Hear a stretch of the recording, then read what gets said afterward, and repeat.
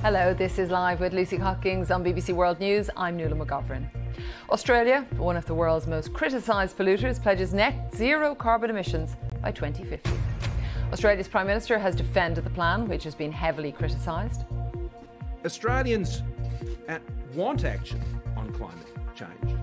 They're taking action on climate change.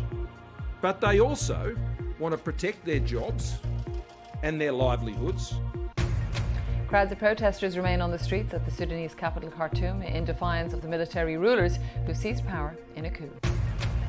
Accused of crimes against humanity, misuse of public funds, and peddling fake news, Brazil's President Bolsonaro finds out soon if senators are to seek his prosecution.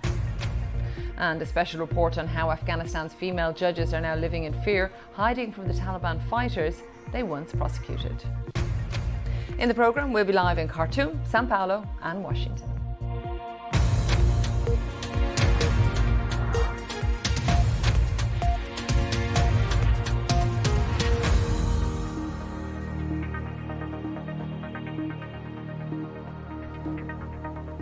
Welcome to the programme. Well, one of the world's most criticised polluters, Australia, has formally adopted a target of net zero carbon emissions by 2050.